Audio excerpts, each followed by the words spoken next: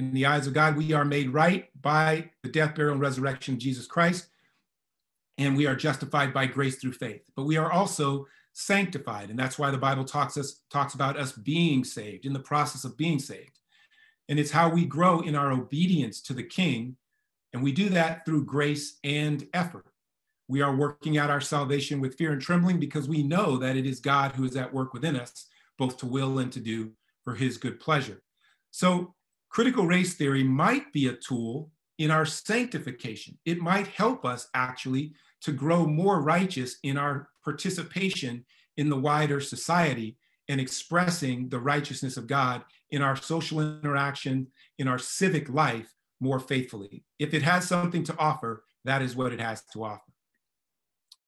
Once again, we looked at the levels of, of racism. We already talked about that, so I'll keep moving on that. The Bible talks about um, law and it refers to God's law, but the way God's law operated in, Jude- in Judaism, it was a political system. In other words, the law of God was the civic law. And uh, the reformers talked about three uses of the law. They were referring to the law in the Bible, but they used that concept to even try to use the Bible to set up just legal systems in society. And what they saw was the law has three, at least these three functions. One function is that it restrains evil. So within society, you set up laws to restrain people from doing evil. This is what Romans chapter 13 is about. This is why we obey governing authorities, is because God actually uses civic law to restrain evil. And God's law, learning God's law, restrains evil by, by kind of drawing attention to it in our conscience. It is designed as a mirror to show us our need for salvation. When we look at God's law in particular, and when God's law is reflected in what is uh, put into civic law, we get to see just how wicked we are. And this gives us uh, our need for salvation.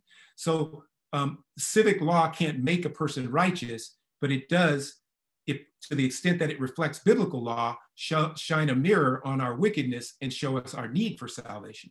It is also this flashlight, a moral guide to believers. Once we become a believer, we use the Old Testament law to give us an insight into God's character, about what God considers to be righteous. And that provides like a flashlight, a guide for us to live a more righteous life. We don't live under the law, we live under grace, but it still has a function in showing us the character of God. The reason I point this out is because within the law, there are systems of economy and there are systems of politics that we don't want to necessarily replicate exactly within our government, but we do want to look at what they teach us about the character of God. For example, within the Jewish legal system, you could not um, harvest your field all the way to the edges of the field. Though, though you might be the owner of that land, God was the ultimate owner, and God said, You cannot harvest the edges of your field. That has to be available to the widow, the orphan, and the foreigner among you. And you could not harvest your field more than once because the, what was left over was for the widow, the orphan, and the foreigner. Now, that shows us God's love for the widow, the orphan, and the foreigner. It shows us that God considers himself to be the ultimate owner of anything we might consider to be private property. And it also shows that it is appropriate for a government to actually impose the ability for the widow, the orphan, and the foreigner to glean a living from society. So, this is an example of how you look at God's law, and you can see guidance for how civic law can be set up in a way that is consistent with God's character.